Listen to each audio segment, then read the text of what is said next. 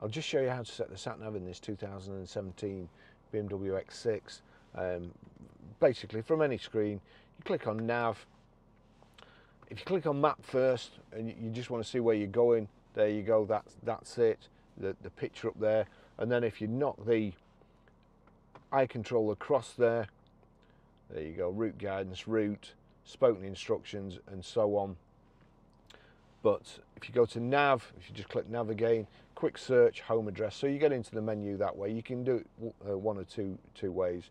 Quick search, recent destination, address input. We'll try address input. It's already, um, it's, it's already got an address in. Um, now, you can use the voice activation and say address if you go to the top there, or I want postcode. So again, it's it's giving me a chance to input it by voice, but it never recognises my, my voice.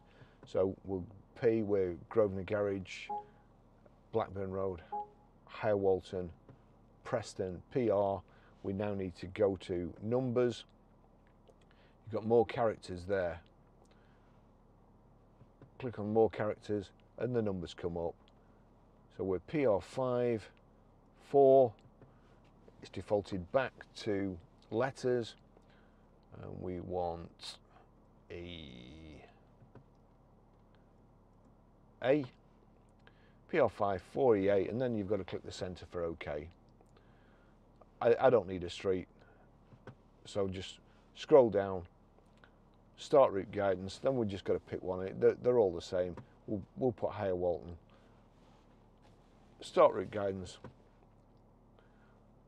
route fast or, or change criteria. Um, I, uh, I, I don't want to do anything that it, it, that's perfect for me. If I just go across again, if I click to the left and then go down, you've got spoken instructions there. Prepare to make a U-turn. So there you go. There's a tick in spoken instructions now, so you, it will tell you what to do. That's it. That's how you do it. Thanks for watching.